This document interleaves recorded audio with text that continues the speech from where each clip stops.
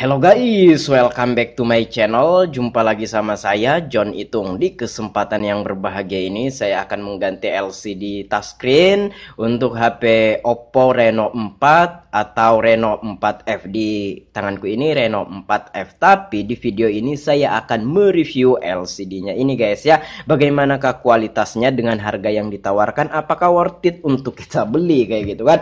Nah, oke okay, coba kita lihat dulu, coba kita keluarkan dan ini no fingerprint guys ya.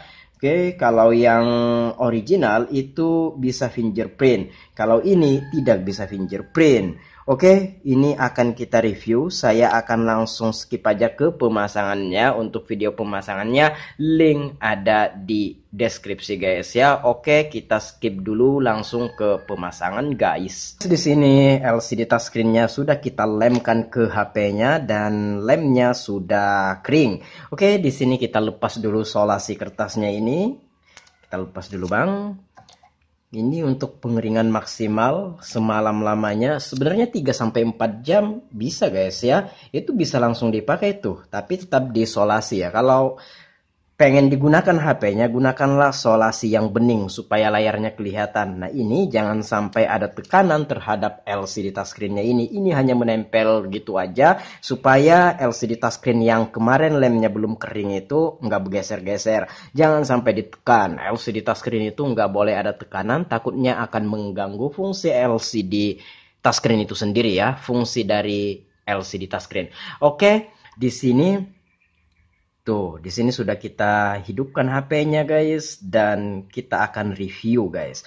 Berapa harganya Bang sebelum kita lebih jauh? Oke, di sini saya beli. Pada saat saya beli harganya 220.000.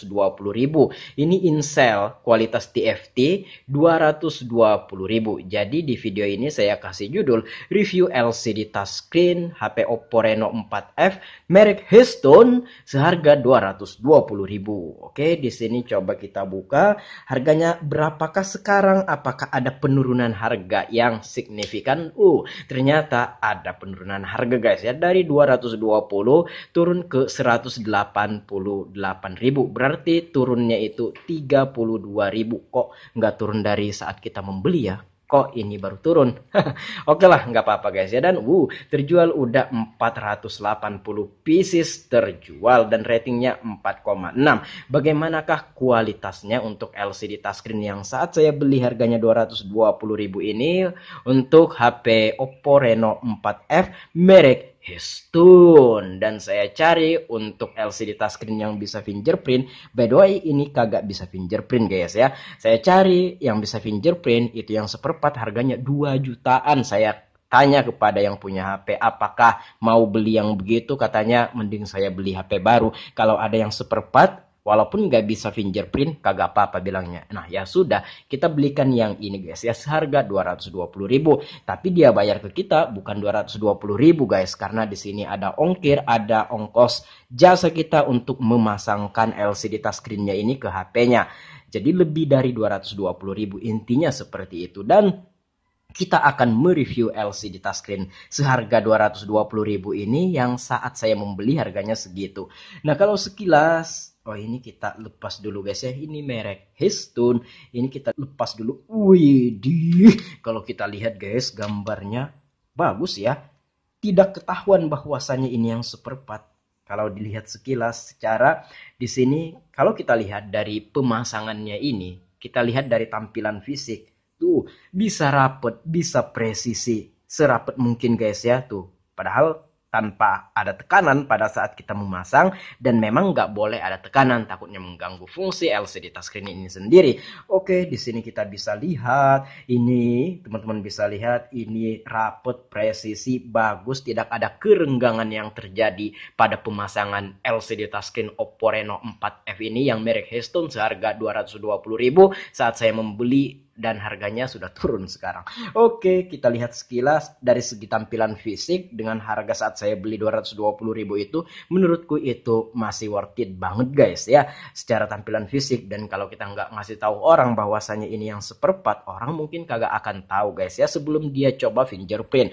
Ini saja fingerprint kagak bisa sama proximity sensor nggak berfungsi non aktif. Coba kita cek ya bintang pagar 899 pagar dibawa masuk ke engineer mode. Kita pilih manual test di sini device debugging. Kita cari sensor proximity. Nah ini proximity sensor test. Kita pilih proximity test dan yups proximity sensornya non aktif alias tidak berfungsi. Akibat kita memasang LCD touchscreen yang seperempat untuk HP ini seharga 220.000 ini tuh tidak bisa fingerprint satu kemudian dua tidak bisa proximity sensor.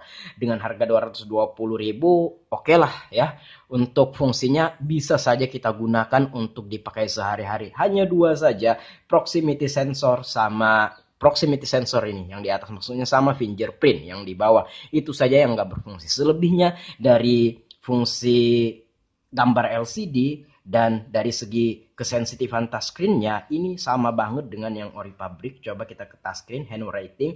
Nah, dari segi penyentuhan jari tangan kita ke layarnya ini, ini sensitif banget selayaknya yang ori pabrik guys tuh teman-teman bisa lihat ya dengan harga 220.000 yang sekarang udah turun itu menurut saya worth it banget dari gambar LCD dan kesensitifan touchscreen hanya saja proximity sensor sama fingerprint tidak berfungsi. Nah, untuk proximity sensornya di sini tidak terdapat lubang ya. Biasanya kan kalau bisa proximity sensor harusnya ada lubang di touchscreennya sini. Ini kagak ada sama sekali. Sehingga ini tidak bisa untuk ini ya proximity sensor. Dan kalau kita nelpon kalau proximity sensornya nggak berfungsi pas kita nelpon itu layarnya nggak akan mati ketika HP-nya didekatkan dengan telinga. Karena sensornya sudah tidak bisa mendeteksi bahwa HP-nya didekatkan dengan telinga jadi layarnya kagak akan mati walaupun didekatkan dengan telinga. Karena sensornya sudah tidak berfungsi lagi saat saya pasang LCD touchscreen-nya ini. Dan sebelum saya pasang LCD touchscreen-nya ini pun saya udah konfirmasi terkait hal ini kepada pelanggan saya dan pelanggan saya menyetujuinya. Nggak apa-apa bilang ya, yang penting HP-nya masih bisa dipakai, masih bisa difungsikan. Kalau mesti harus beli yang bisa fingerprint sama proximity sensor yang harganya 2 jutaan, belum ongkir, belum jasa saya untuk memasang. Nah pelangganku kagak mau guys ya, katanya mending beli HP baru. Kalau dipikir-pikir ya 2 juta itu banyak juga guys ya kalau harus beli LCD. Nah, jadi pelanggan memilih yang ini.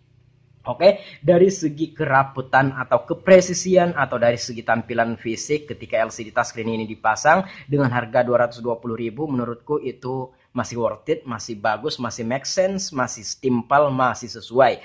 Kemudian dari kesensitifan touchscreen bagus juga. Ini sensitif banget selayaknya yang ori pabrik dan untuk dari gambar LCD bagus, cerah dan terang. Coba kita cek lagi bintang pagar 899 pagar kemudian ke manual test, kemudian screen unit test. Nah, ini cerah guys ya dan kita lihat tidak ada tompel-tompel, tidak ada cahaya yang terang di bagian tertentu pada LCD-nya, tidak ada flag hitam bintik-bintik dan lain sejenisnya. Oke, ini warna merah, warna biru dan ini pengecekan LCD-nya mau sama saja guys ya untuk kualitas gambar LCD-nya dengan yang ori pabrik. Oke. Device debugging untuk touchscreen, handwriting tuh. Iya, berfungsi sebagaimana mestinya, sebagaimana seharusnya. Oke. Tuh. Teman-teman bisa lihat ya, tuh berfungsi aman ya. Dan dari segi proximity sensor ya nggak perlu kita cek lagi karena tadi saya sudah mengecek dan nggak berfungsi proximity sensornya ya. Dan untuk fingerprintnya juga nggak berfungsi. Tapi dari segi tampilan fisik dan gambar LCD, kemudian kesensitifan touchscreen serta brightness ini bisa ngatur kecerahan, kegelapan ya, keterangan, kegelapan Tuh itu bisa diatur. Nah, ini dengan harga 220.000 ini kalau pertimbangannya mesti kita beli LCD yang bisa fingerprint namun mengeluarkan 2 juta, menurut saya dengan harga 220.000 ini walaupun fingerprint nggak bisa dan sensor nggak bisa, menurutku ini masih worth it banget guys ya. Masih layak untuk kita beli kayak gitu. Oke, Sekian dulu untuk review kali ini. Jikalau ada pertanyaan, komen-komen aja. Jikalau ada yang pengen disampaikan, komen-komen juga. Itulah review singkat kali ini dan untuk video lebih jelasnya saya menjelaskan tentang LCD touchscreen untuk merek Heston seharga 220.000 ini saat saya membeli yang sekarang harganya turun jadi 188.000 turunnya itu 32.000 saya sudah membahasnya Nanti link videonya aku taruh di deskripsi ya. Ini adalah thumbnailnya. Nah, tonton aja guys ya. Saya membahas lebih lanjut tentang LCD ini yang nggak bisa fingerprint untuk HP Oppo Reno 4F ini. Silahkan tonton aja, link ada di deskripsi. Dan untuk link pembeliannya juga nanti aku sematkan di deskripsi. Link pembelian LCD touchscreen ini. Sekarang harganya 188.000, nggak tahu nanti bisa naik, mungkin bisa tetap, mungkin bisa turun. Oke lah, Demikian selesai sudah, sudah panjang lebar kita review. Itu saja guys ya, tidak ada yang gimana-gimana. Intinya touchscreen-nya aman, LCD-nya aman, touchscreen-nya sensitif, LCD-nya bagus gambarnya, secara tampilan fisik bagus dipasang nggak ketebelan pun dilihat dengan mata kita, mata nggak sakit. Layar LCD-nya ini berfungsi sebagaimana mestinya, gambar LCD-nya bagus kayak gitu guys ya. Walaupun proximity sensor nggak bisa, fingerprint nggak bisa, ya udah nggak apa-apa kembali lagi kepada harga yang ditawarkan di sini guys ya. Daripada kita harus mengeluarkan jutaan rupiah untuk membeli seperempat mending beli yang baru bilang pelangganku guys ya. Oke saya akhiri sampai di sini. Saya John Itung. See you the next video my brotherku